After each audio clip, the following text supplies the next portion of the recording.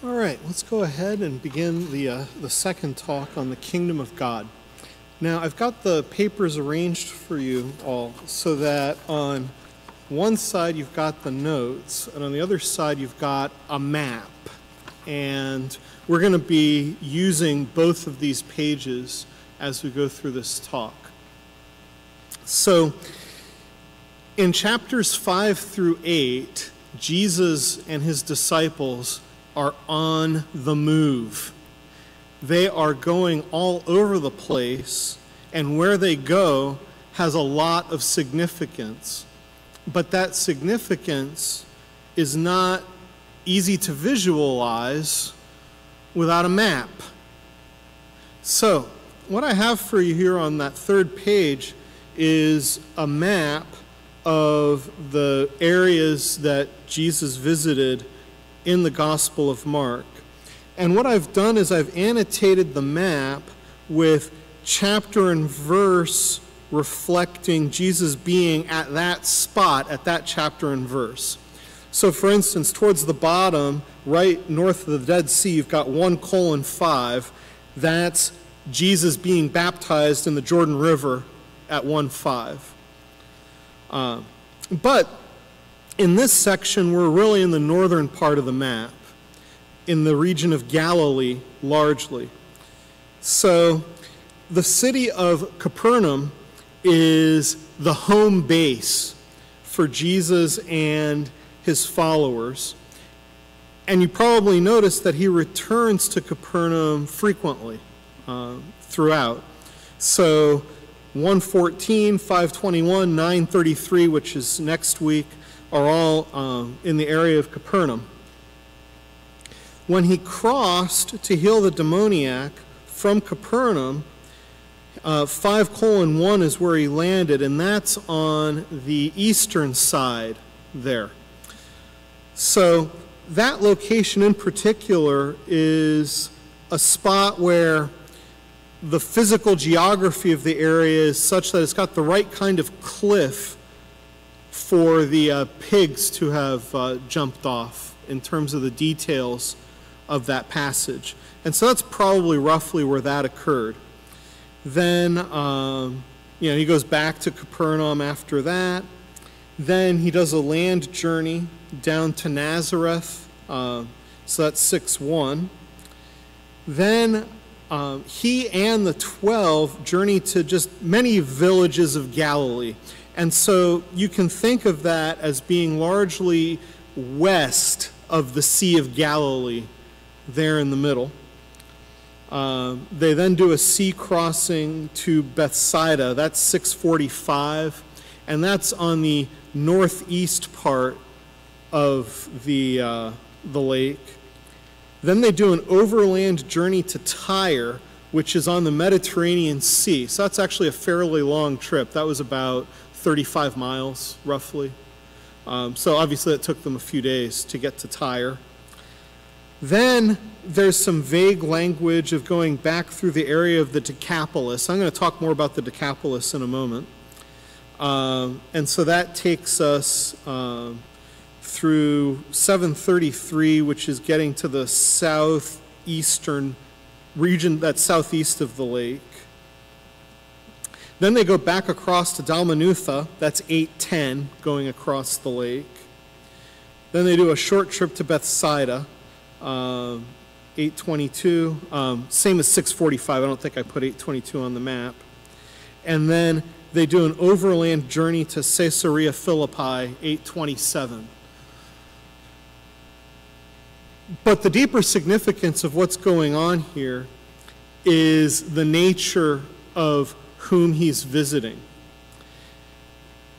The region of Galilee to the west of the Sea of Galilee was primarily inhabited by Jews who were primarily speaking the Aramaic language. And in fact, Mark even gives us a little bit of Aramaic for some color um, in places. So for instance, when he's healing uh, the daughter of Jairus in uh, 541, he says, Talitha kumi, which means, Little girl, I say to you, arise. So Mark quotes the Aramaic line that Jesus spoke and then translates it into Greek for his readers. Right there. So, and then later, when we've got the uh, healing of the blind man, or no, the deaf man, sorry, in 734, he said to him, Ephphatha, that is, be opened. It's Aramaic being spoken there. So that's the dominant language of that area, and the dominant culture, religious views, is a heavily, heavily Jewish environment. The Decapolis, not so much. The Decapolis is a region of Greek speaking pagan cities. So, specifically, the cities of the Decapolis include um, Hippus, Dion, Kanatha, Raphana, Gadara, Gerasa, Pella, Scythopolis, which is, unlike most of them, slightly on the other side of the Jordan, Philadelphia, not that Philadelphia, uh, Damascus, uh, Caesarea Philippi. So those are Greek speaking pagan regions. And there are interesting clues about this. So when he first crosses the Capernaum to cure the Gerasene demoniac, the demons ask to be able to possess the pigs. Well, if this were a Jewish area, there wouldn't be a herd of pigs. Right? The fact that there's a herd of pigs is very significant for helping us see oh, yeah, these aren't Jews, these are pagans, in fact. So let's think more about that episode. We're, we're going to go back to that episode uh, one more time after this, too, because there's just so much going on with it. So Jesus comes to heal the Gerasene demoniac. And note that this is the first time that Jesus makes a visit to Gentile territory. It's as if the evil concentrated in that part of the Sea of Galilee was so tremendous that he knew he had to do something about it. And so he did. So let's look at the details. Like I said, this is horror movie territory. He had often been bound with shackles and chains, but the chains he wrenched apart, and the shackles he broke in pieces, and no one had the strength to subdue him. Night and day among the tombs and on the mountains, he was always crying out and bruising himself with stones. And when he saw Jesus from afar, he ran and crying out with a loud voice, he said, What have you to do with me, Jesus, Son of the Most High God? I adjure you by God, do not torment me. For Jesus has said to him, Come out of the man, you unclean spirit. And Jesus asked him, What is your name? Now, why does Jesus ask for his name? In asking for his name, he asserts authority over the unclean spirit. He's basically telling the unclean spirit, Your time here is at an end. He replied, My name is Legion, for we are many. So, what's the significance of that? A legion, right, was a military unit of the Romans, and a really numerous one. The demon is boasting at this point. But there's also another aspect to this, which is that this legion of demons represents some kind of primordial chaos. It's not human to live like that. We're created in the image of God with a single, intelligent, rational soul. This isn't the way it's meant to be. And Jesus is going to straighten it out. So, he allows them into the swine and they're drowned. That is bizarre. No two ways about it. Why Jesus acceded to their request is a bit of a puzzle. Best guess is that for whatever reason, whoever the owner of the swine was or whatever, in his infinite wisdom, Jesus saw fit that the swine perish. Um, don't have much more beyond that. Um, it occurs to me to suggest also that the death of the swine is in part a sign of the lack of efficacy of the pagan gods. That the death of the swine represents the fact that the God of Israel is indeed supreme over those pagan gods that they worshiped. So then what happens? People came to see what it was that had happened. They came to Jesus and saw the demoniac sitting there, clothed and in his right mind, and they were afraid. And those who seen it told what had happened to the demoniac and to the swine, and they began to beg Jesus to depart from their neighborhood.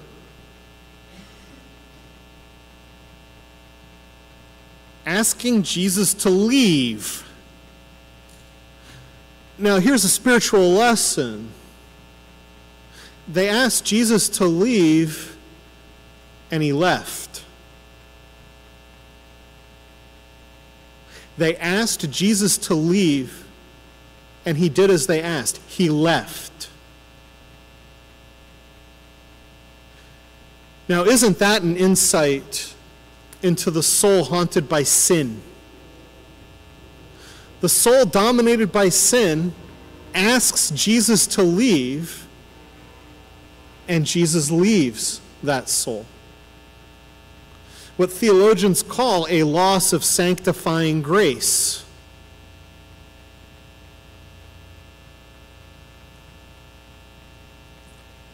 Now, what happens to the demoniac? This is really interesting. The man who had been possessed with demons begged him that he might be with him, but Jesus refused and said to him, Go home to your friends and tell them how much the Lord has done for you and how he has had mercy on you. And he went away and began to proclaim in the Decapolis how much Jesus had done for him.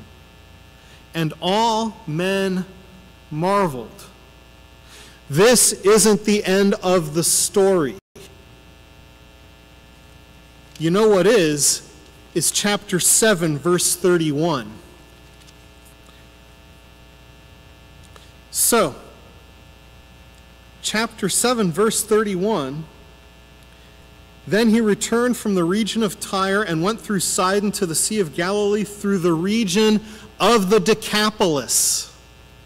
So we look back at the end at that bit of chapter 5 he went away and began to proclaim in the Decapolis how much Jesus had done for him. So the cured demoniac has gone on his own preaching tour in those 10 pagan cities, which interestingly parallels the preaching and healing tour that Jesus and the disciples are undertaking at the same time in Galilee in the sending of the 12. So he goes, he proclaims all this good news in the Decapolis. Jesus and company return to the Decapolis, and immediately they bring him the deaf mute man. Now, how do they follow this up? A whole bunch of them gather, and ultimately, Jesus needs to feed them.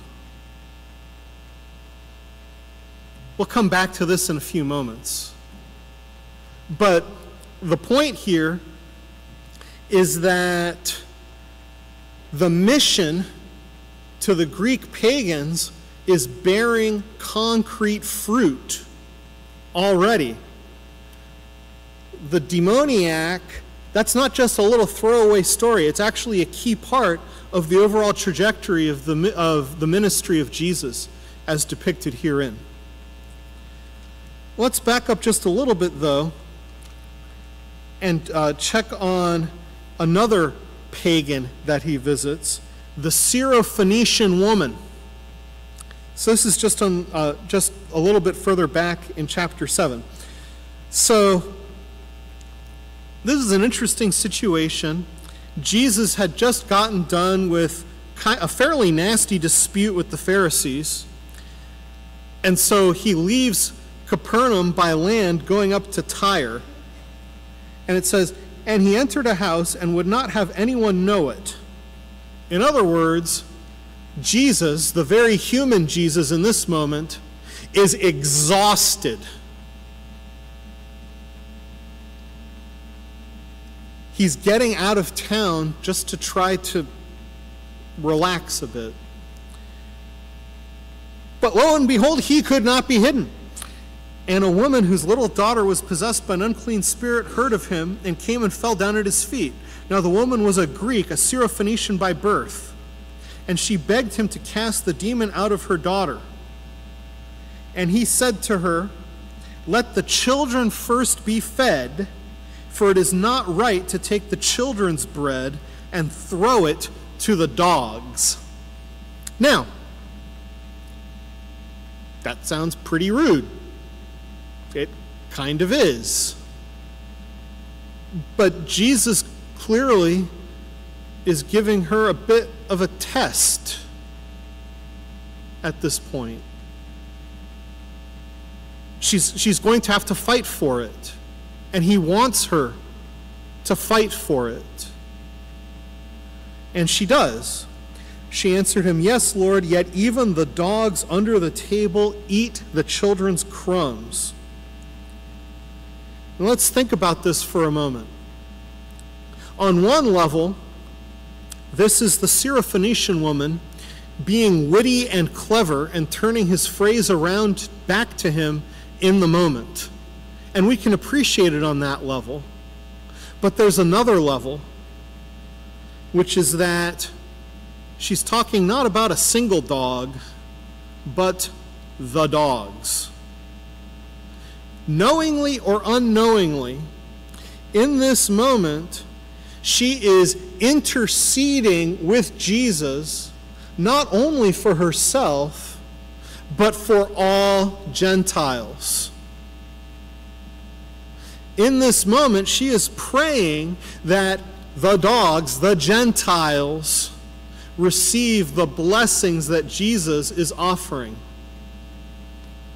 And this is an important part about what Mark is teaching about the kingdom of God in this section that the kingdom of God is inclusive of all peoples without distinction. And so it's no accident in terms of the narrative that after this, Jesus does not immediately return to Galilee. Instead, he heads to the Decapolis. Why? Because he has heeded the intercession of the Syrophoenician woman, asking that even the dogs are ready for some table scraps. And he set it up with the healing of the Gerasene demoniac earlier on. The people are ready for his blessings at this point. So he not only helps her, heals the Gentile deaf man, and then he feeds, feeds the Gentiles. So let's take some time now, speaking of feeding and food, and I'm glad this is more of an after dinner kind of a presentation rather than a pre meal presentation. Uh, but he does two feedings, two miraculous feedings here. And my own experience when I first uh, had the exercise of sitting down and reading the Gospel of Mark as a whole was I honestly didn't even know there were two feedings. I knew about the 5,000. I didn't even know about the 4,000. That sort of grabbed me out of nowhere, actually, the first time I encountered it by reading the narrative as a whole but it has a lot of significance, and they both do, and the parallels between them do. So let's explore them a bit. So first, looking at the first miracle of the loaves, this is Mark 6:30. The apostles returned to Jesus and told him all that they had done and taught. So the context here is that the 12 had gone out on their mission. They were returning from the mission, and they were exhausted. And he said to them, Come away by yourselves to a lonely place and rest a while. Jesus is basically saying, Apostles, job well done. You've earned a break. But people saw them and followed them, as they do. They went away in a boat to a lonely place by themselves. Now many saw them going and knew them and ran there on foot from all the towns and got there ahead of them. They must have been going pretty fast. Usually, water travels a little faster than land travel. So it is. As he landed, he saw a great throng, and he had compassion on them because they were like sheep without a shepherd, and he began to teach them many things. And when it grew late, his disciples came and said, Send them out of here. And remember the context. They were exhausted. They're done. They're like, Phew. and he answered them, You give them something to eat. They said to him, Well, how, how are we going to do that? We've only got five loaves and two fishes. But it works out. They hand it out. The 5,000 are fed. And they took up 12 baskets full of broken pieces and of the fish. The detail about the 12 baskets is that this symbolizes Jesus' mission to the Jewish people. Right? They've been preaching in the villages of Galilee. The preaching has hit a chord, it has hit a response. They are pursued he gives them what they need because they are sheep without a shepherd. The Jewish authorities are not doing their job. So Jesus is ready to do that. So we've got that. Now, let's look at the feeding of the 4,000. So this is chapter 8, starting at verse 1. I have compassion on the crowd because they have been with me now three days and have nothing to eat. The three days is a detail that Mark emphasizes because the initial mission of Jesus is to the Jewish people. The Gentiles have had to wait. And it turns out here they've been waiting for three days for their feeding. But nevertheless, the dogs, so to speak, are going to receive the children's scraps in abundance. So, how many baskets are left over now? There are seven. Seven baskets left over. And the, the detail of there being seven baskets is the number seven represents all the nations of the world, all the peoples of the world.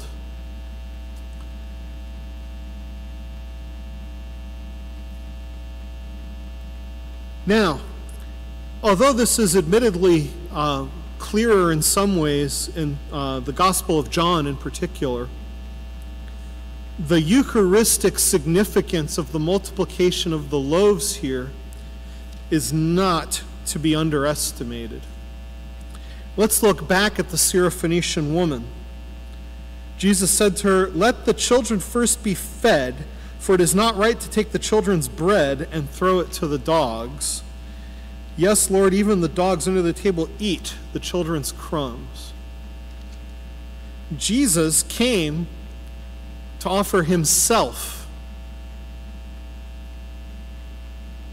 He hints at that by using the metaphor of food. Ultimately, he'll be fed by his own body. And what we have to remember, right, is that the gospel has been written in the context of and presented to a community that is actively celebrating the sacraments, most especially the Eucharist. So, in the context of a community that's celebrating the Eucharist, the significance just jumps right out. Especially when it gets followed up by the feeding of the 4,000 after three days. How long is he going to be in the tomb? three days. As one of the fruits of his death and resurrection, he makes his body present for all, Jew and Gentile, who wish to partake of what he has to offer. So we see a sacramental significance to his ministry here, a sacramental significance that, of course, is what the church he founded carries forward after his death and resurrection. And, and it's an interesting detail that throughout this section, Jesus physically touches those whom he heals. The woman with the hemorrhage reaches out and touches his cloak and is healed, and has faith that if she touches his cloak, she will be healed. The deaf man, the detail is visceral, right? Because you can imagine Mark taking notes as Peter narrates the tale that he witnessed. He put his fingers into his ears and spat and touched his tongue. And his ears were opened and his tongue was loosened. Ultimately, Jesus wishes us to experience his blessings and his ministry through the physical medium of touch which is what we have through the sacraments of the Catholic Church. So, again, we'll pause uh, for five minutes or so of reflection time, and here are some things to reflect on. First, a major theme of this section is the inclusion of all peoples in the kingdom of God, as emphasized by his ministry to the Gentiles and parallel to the ministry to the Jewish people. So prayerfully consider to what person or people might Jesus be calling you personally to reach out to at this time in the context of your life? Second question to ponder, again, just as the Spirit moves you, in what ways have the sacraments enabled or sustained you in your own spiritual journey? So go ahead, take five minutes to ponder this, then at 8 o'clock we'll, we'll have the third and final talk.